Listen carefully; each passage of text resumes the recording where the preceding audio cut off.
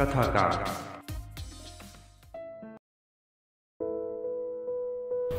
जैसे जीवन और मरण है, वैसे ही है पाप और प्रायश्चित। रात्रि भोज के लिए कुछ बुद्धिजीवियों का समूह एकत्रित हुआ था।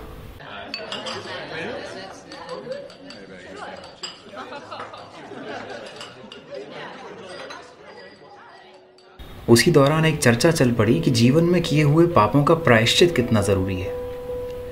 किसी ने कहा कि मानसिक शांति के लिए बहुत ज़रूरी है तो किसी ने कहा कि आधुनिक समाज के ताने बाने में समायोजित नहीं होता। चर्चा जितनी गहराती गई, उतनी ही उलझती भी गई। कोई एक मत न बन पाया कि आखिर पापों का प्रायश्चित करना कितना ज़रूरी है। इस पर भोज में आमंत्रित एक वरिष्ठ अधिवक्ता से पूछा गया, आपका क्या मानना है वकील साहब? आपके विचारों से हम सभी सहमत होंगे।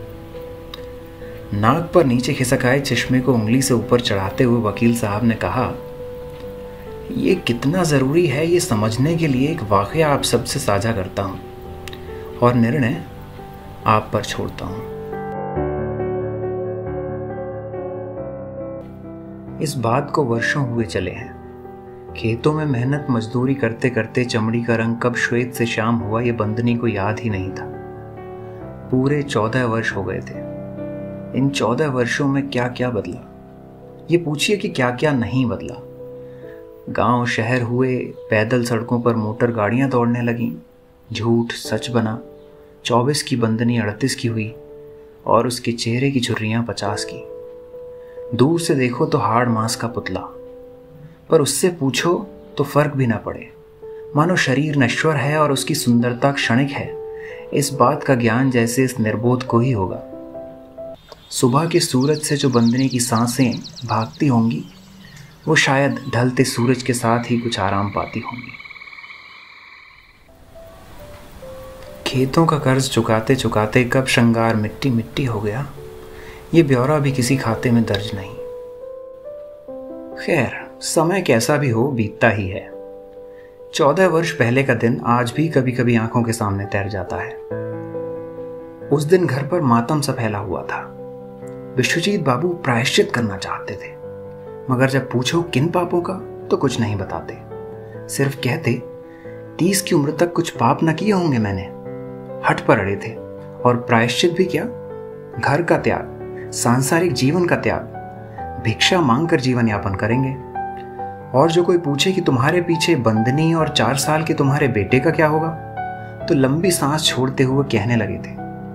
सब अपने जीवन का सुख और दुख लिखवा के लाते हैं। सबने पूछा, और जो तुम इनके भाग में दुख लिख रहे हो, उनका क्या? झल्ला कर कहने लगे, मैं कुछ नहीं लिख रहा। सब विधाता का खेल है। बंदनी ने रोते हुए कहा था, मेरे लिए ना सही, अपने सपूत के लिए यह हट छोड़ दो। विश्वजीत बाबू ने झिड़कते हुए कहा था, मेरा रास्ता छोड़ो। प्रायश्चित का मेरा यह फैसला अटल है। हताश होकर बंदनी कहने लगी थी, ब्याह ही क्यों किया था? यह ख्याल पहले ना आया? क्या यह पाप नहीं? इसका प्रायश्चित कौन करेगा? विश्वजीत बाबू बिना कोई उत्तर दिए चले गए थे और पीछे छोड़ गए थे खेतों का कर्ज और अपनी जिम्मेदारियाँ। वो दिन था, भाग्य ने ऐसा मुँह फेरा कि बंदनी के जीवन में बसंत कभी आया ही नहीं। जीवन का सूरज ऐसा भटका कि सवेरा कभी हुआ ही नहीं। दिन दिन भटकी रात रात जागी, खून पसीना एक हुआ, श्रृंगार कोयला हुआ और हथेलियाँ पत्थर हुई। दस की आयु में बेटे की मृत्यु में भी ठीक से न रो पाई थी। मानो आँखों से सारे आँसू सूख चुके थे। पर समय कहाँ टिकता है एक जगह? श्री राम का वनवास भी तो समाप्त हुआ था एक दिन। बंदनी के कष्टों का दौर भी अब खत्म हुआ लगता है। आज बड़े ही सुख का दिन है। वृंदावन के आश्रम से एक शिष्य के हाथों समाचार आया है। विश्वजीत बाबू का प्रायश्चित पूर्ण हुआ है। चौदह वर्षों का तप समाप्त हुआ है। शिष्य ने समाचार सुनाया, माता पूर्णमासी के दिन महाराज पधारेंगे। अब उनकी कठिन तपस्या समाप्त हुई। सालों पहले उनके आगमन पर मठाचार्य ने महाराज नाम दिया था उन्हें। वो तो हम जैसों के किरण पुंज हैं। बड़ा तप किया है उन्होंने। अब जाकर प्रायश्चित पूर्ण हुआ है उनका। बंदनी एक टक सुनती रही। बिना किसी भाव के मन में असंख्य प्रश्नों ने एकाएक जन्म लिया हो जैसे। एकदम से निकल पड़ा उसके मुँह से। प्रायश्चित पूरा हुआ? पूर्णमासी के दिन श्वेत पीत वस्त्र धारण किए विश्वजीत बाबू पधारे। साथ में कुछ शिष्यों की मंडली थी। सब प्रायश्चित करने वाले मालूम होते थे। एक जयकारा हुआ। पूरे गाँव में खुशफुसाहट थी। चौदह वर्षों बाद विश्वजीत बाबू ने दरवाज़ा खटखटाया। बंदनी ने दरवाज़ा खोला। बंदनी को सामने पाते ही विश्वजीत बाबू बोले, चौदह वर्ष हो गए बंदनी, मैंने प्रायश्चित कर लिया है।